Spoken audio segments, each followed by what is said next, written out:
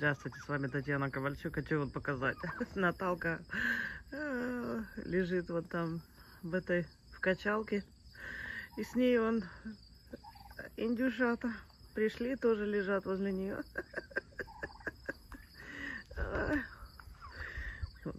Интересно так как. А теперь ко мне идут, меня увидели, ко мне идут. Вот так вот. Привязаны они к Наталке. Наталка их там кормит.